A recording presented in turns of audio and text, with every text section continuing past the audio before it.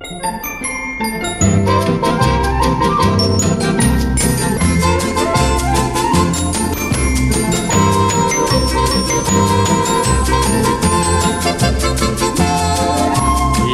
na dnu srca gajim tračak nade. Za ljubav moju hoće znat Ko zna što snuje sad Za razgovor ja povod stalno tražim. A hoću li ga naći, tko zna, pa možda tko to zna. Kad sretnem nju promijenim boju lica.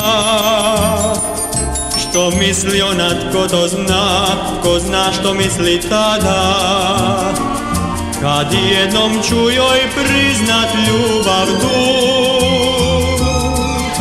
Odvratit će mi ne, tko zna, ili reći će mi da.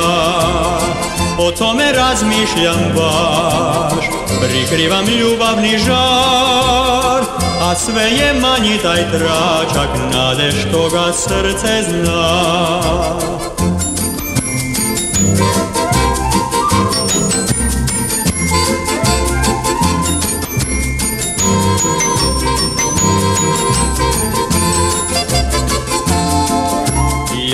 na dnu srca gajim tračak nade.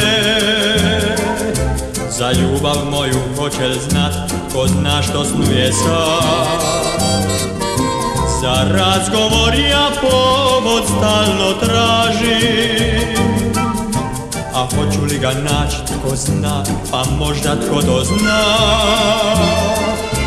Kad sretnem nju promijenim boju Što misli ona, tko to zna, tko zna što misli tada. Kad jednom ću joj priznat ljubav tu Odvratit će mi ne, tko zna, ili reći će mi da.